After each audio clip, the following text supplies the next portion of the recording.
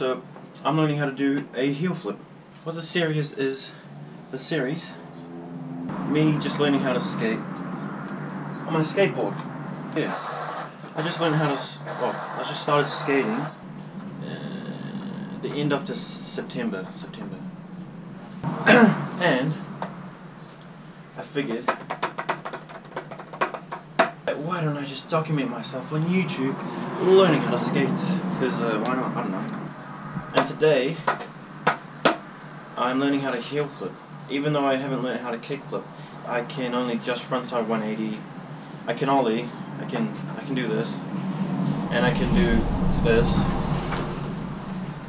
or like like this actually, like like that, and I can almost do that. Pretty much. Pop shove it. Today, I'm learning how to do this. Shh. Because Picaro land point. Yeah. Isn't that right? My dog's pretty chill. Just. I'm just gonna show the basics of how to actually heel flip. So, with almost any trick, you're always gonna have the pop, flick of the. Oh, I guess so. You're always gonna have this look of the shoe somewhere.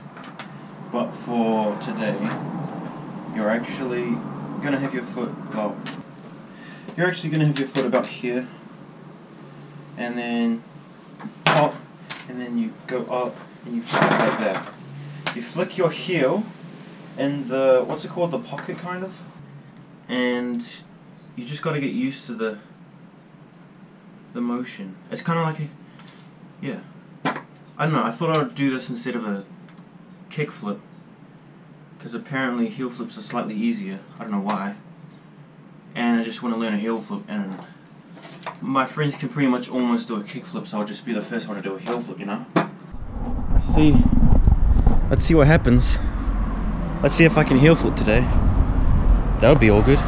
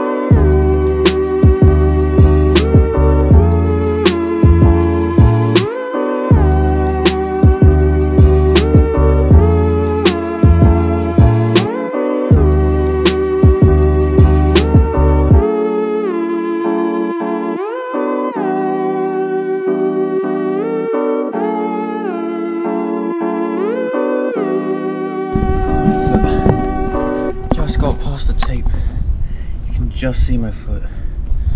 That's annoying.